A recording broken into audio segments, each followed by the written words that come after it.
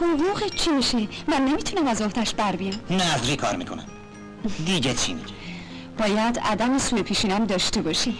این دیگه خیلی بد شد. میگم چطوره بریم یه جای خلوت راجع به این قضیه حرف بزنیم؟ نه من باید برم بیمارستان. به سنگ خورد. سلامتی.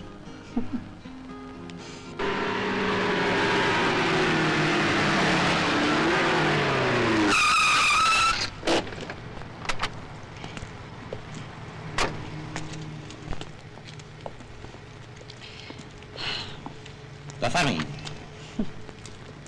خیلی ممنون. قربان شما. میگم چطوره؟ بیام یه حال احوالی هم از بابات بگیرم. نه دیگه خیلی تو زحمت چون زحمتی. بعدش هم هر جا بخوای میرسونمه ممکنه باز لوشوش مزاحمت بشن. ببینم مگه تو کار زندگی نداری؟ ده. قرار شد کار ما همین باشه دیگه. ما این صحبتشو نکردیم. من که هنوز استخدامت نکردم. خب پکه بیام سر کار. از فردا. کجا؟ همینجا. عدم سوء پیشینه چی؟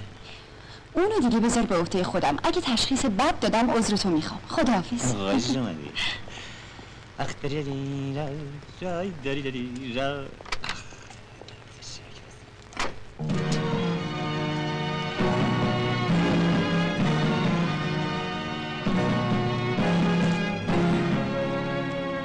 چرا اینقدر مامانم دیر کرده؟ چرا نیومده؟ مثل اینکه گرفتاری داشته.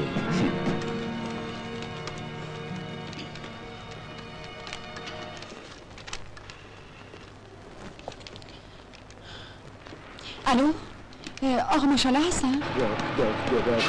کریم آقا تمام شدی کریم آقا دارم رفتیم در بگشتن آقا بابا چیه میشنگی؟